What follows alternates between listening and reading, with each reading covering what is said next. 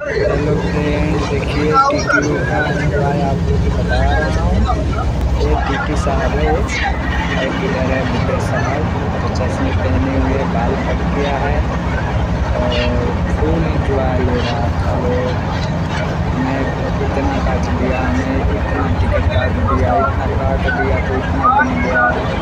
मेरा इतना लोकल आदमी चढ़ जाता है, उससे सौ पचास, दो सौ, तीन सौ पैसे ले लेते हैं टिकट उसका नहीं बनाते ये सब प्रॉफिट हो जाता है। टी टी का बहुत आजकल कमी हो गया है, क्योंकि ट्रेन में इतना पब्लिक चढ़ जाता है ना, और टी टी का बहाना बन जाता है। ये उतना देर में तो करूँगा इतना देर में तो उतारूँगा, ये करूँगा, वो करूँगा, देना ही पड़ेगा, लेकिन टी टी से घबराना नहीं चाहिए। टी टी का सामना उतरने के लिए मत उतरो।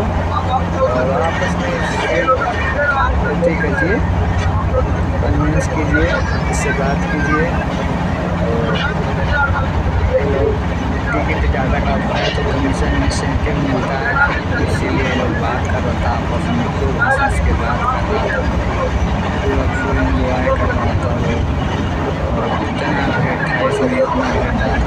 इतना टी का इतना मुझे तो गुस्सा आ रहा था लोग इस यार लोग से कितना ठगते हैं लोग या फिर लोग बेवकूफ़ बन जाते हैं इस सब मेरे सामने ना चार पाँच यात्री थे और गोरखपुर गोरखपुर आ रहे थे मैं तो बिहार से चकिया से उतरा बिहार जिला में आए होते हुए सुबह भी टी टी में चढ़ा और गोरखपुर वाले चार पाँच बंदे थे और सबसे पैसा मांग रहे थे कि टिकट बनवाना है कि पैसा देना है तो वो तो कोई भी डर जाएगा भाई तो एक बंदे पे डेढ़ सौ रुपये ही लिया टी तो वहीं पे तीन सौ रुपया छः बंदे का था लोग, तीन सौ रुपये उस एक टी टी मेरी बोगी के सामने कमा बताई। बताइए तीन सौ रुपये का इतना लंबा ट्रेन है, इतना पब्लिक है कमा लेता है।